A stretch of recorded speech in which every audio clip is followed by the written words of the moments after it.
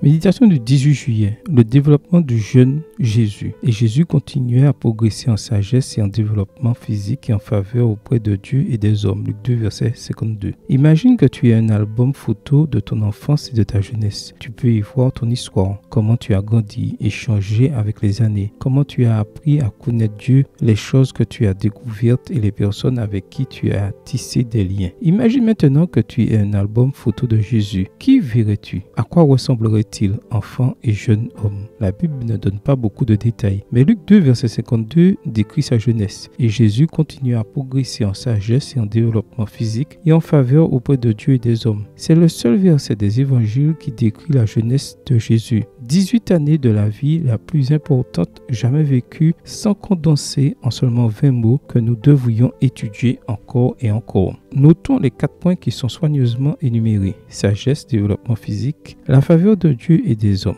De la description du développement du jeune Jésus, ce sont ces aspects qui ressortent. Sur le plan personnel, il se développait mentalement et physiquement. Sur le plan spirituel, il maintenait une relation étroite avec Dieu. Et sur le plan social, il était en relation avec les autres. Le danger latent que les êtres humains se développent de manière déséquilibrée existe. Prenons le cas d'une jeune fille qui, parce qu'elle est déterminée à obtenir les meilleures notes, néglige son développement physique. Elle tombe alors malade et ne passe pas son année scolaire. Prenons également le cas d'un jeune homme sportif qui n'a pas le temps de faire ses devoirs. Certaines personnes peuvent s'isoler de la société pour se rapprocher de Dieu, tandis que d'autres peuvent devenir des amateurs de plaisir sans attacher d'importance à quoi que ce soit d'autre. Jeune, Jésus avait un caractère et une personnalité équilibrée. Bien qu'il ait rejeté les écoles traditionnelles, il étudiait assidûment les écritures, la nature et l'histoire. Il a acquis des compétences pratiques, a travaillé dur et s'est forgé un physique solide grâce à une alimentation simple et à des habitudes saines. Ce corps sain lui a permis de rester ferme dans ses principes moraux et d'accomplir sa mission divine avec tout son engagement et son dévouement. Quand tu suis l'exemple de Jésus et fais ce qui est juste, Dieu met sa main sur ton épaule et te dit, celui-ci est mon fils bien-aimé, celui qui fait toute ma joie. Matthieu 3, verset 17, version sommaire. Amen. Bonne journée à toi et que le Seigneur te bénisse.